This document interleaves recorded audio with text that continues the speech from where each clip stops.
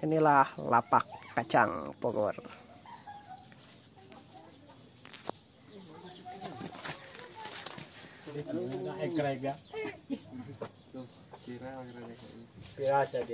Inilah kacang Bogor yang sudah dikumpulkan dari petani.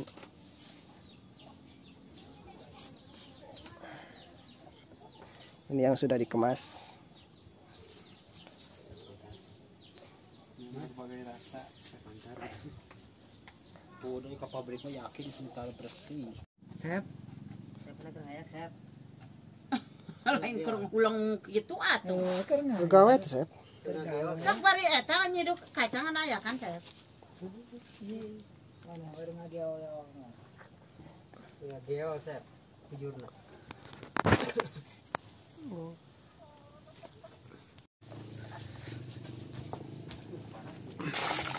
Inilah proses pengemasan untuk siap dikirim ke pabrik.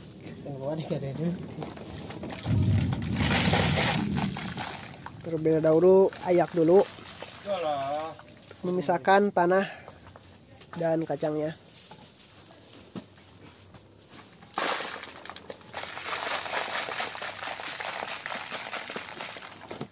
Kita produksi setiap hari 2 ton.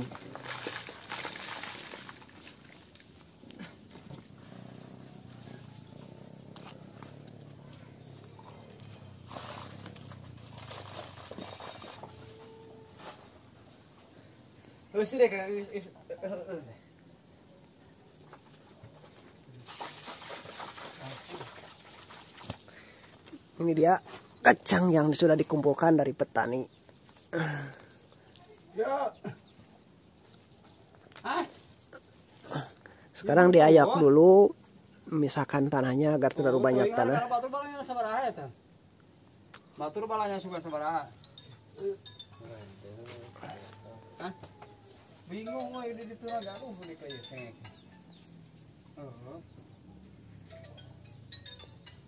Nah, rutan. Ini kondisi yang masih belum diayak. Ini dari hutan langsung dari kebun. Masih banyak tanahnya dan sekarang kita lagi proses pengayakan karena ini masih banyak tanah terlumuti tanah. 60.000 cengek mah teh. dan ini sudah dikumpulkan dan diayak kembali. Mohon. Mohon.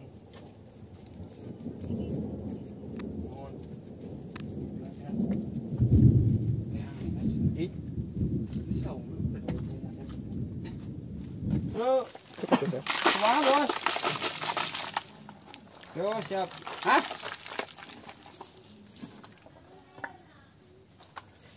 Habis bro. Bagus.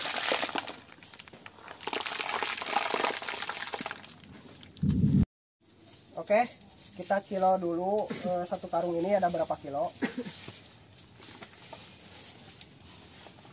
Ini 50, ini 10 ya.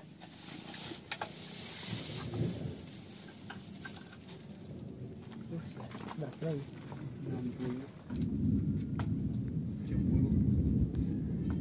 Tujuh, Satu. 70 70 kilo dalam satu karung ini ada 70 kilo Eh, dan ini siap dikirim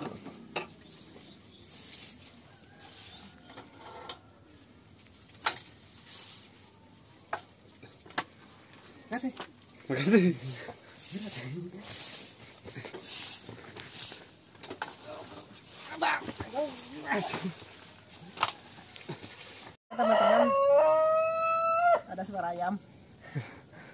Oke ini proses pengemasan sudah hampir selesai dan nanti akan dikirim. Eh, dan harganya sekarang normalnya itu 10.000 dan kalian bisa kalikan saja 10.000 per kilo mungkin di kota lebih mahal lagi. Karena ini dari harga petani biasanya normal 10.000 9.000 lah. Jadi eh, tergantung permintaan dan stok biasanya itu harga sudah biasa eh, turun naik. Dan normalnya itu 10.000 kalikan saja 10.000 kali 2 ton. Eh, silakan hitung sendiri aja saya pusing hitungnya. Pokoknya eh, bisnis kacang Bogor ini sangat menjanjikan dan rasa dari kacang Bogor ini sangat khas sekali gurih. Eh, ada manis-manisnya gitu kayak teh. Oke terima kasih sudah menonton video ini sampai selesai. Jangan lupa selalu klik tombol subscribe like komen dan share agar kalian tahu apa saja kegiatan yang ada di pedesaan. Terima kasih. Wassalamualaikum warahmatullahi wabarakatuh. Oke.